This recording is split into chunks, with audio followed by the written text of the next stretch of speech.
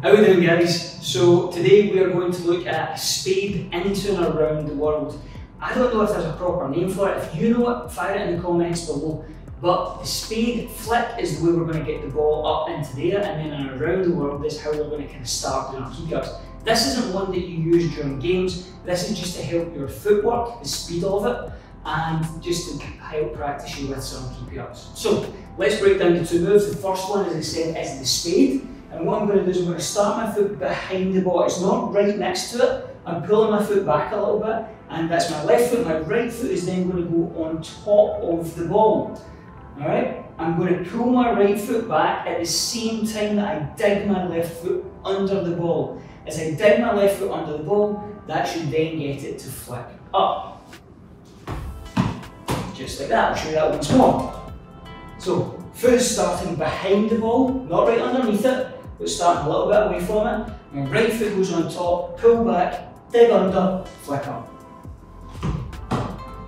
Just like that. Now, the second part of the trick is the around the world. If you're not 100% sure how to do it, here's how to start.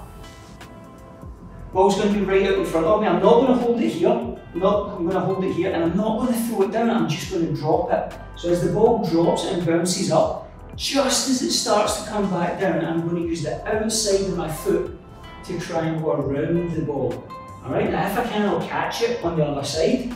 But if you can't do that, don't worry, let it bounce. Do a couple of keepy ups and then try it again. So, show you that one. Arms out. Let it bounce as it goes up and starts to come back down. That's when I try and do the around the world. Alright, just like that. Foot over the ball, let it bounce, start again. Alright, now, this time through I'm going to see if I can catch the ball before it bounces after the around the world. Just like that, so that's the progression. Around the world, bounce, catch. Around the world, kick, catch it with your foot and then keep going. So let's see if we put those two things together. Right, now this is a difficult one for the flick, the spade, because it needs to be just right. The ball can't be too far away from you, it can't be too close, it can't be too far left or right either. So let's see if I can do it. There you go, and that's it. Now, you can try it left foot. I hope you try it left foot as well around the world. I've just done right. The other way to do it is rather than put your foot around the ball that way, can you go that way now?